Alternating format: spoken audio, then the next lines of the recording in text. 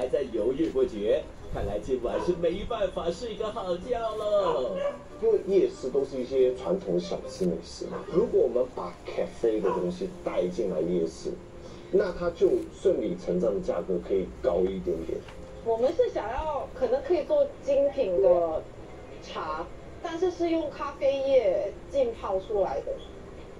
我们没有那么专业。对，对于 F&B，所以我们就问了身边有一位朋友是呃开呃饮食业的，因为他咖啡做很本的，他们比较有专业。我的 best man Marcus，神助攻，我们就去到他的咖啡，直到他店关了，他所有的员工都走了，他就留下来。OK，然后就开始教我，因为我从来没有试过，就是真的自己去手摇制作饮品。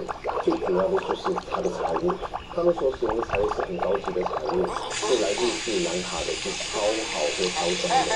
然后后来是人家会说，哎我在想，你的这个零食呢，小时候我们喜欢吃的那个鳕鱼丝啊，你为什么就突然间想到一个很好的孩子？最近是第一月，我们去雅虎，我买了几袋我很喜欢的呃调味料，然后他就讲说，哦，妈呀，那个鳕鱼丝上面放这个调味料。浓郁的甜蜜分享给大家。然后杨姐说的说，就对我说，我们明天就卖这个甜蜜的。好了，我们现在要去买东西，我已经觉得很累了。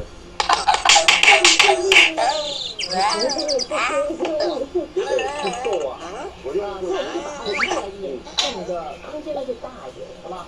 这样就不会阻碍到你了啊。我没有说你阻碍我。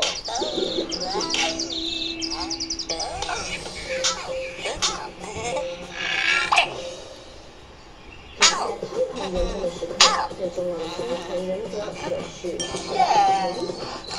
钱难道就不能省？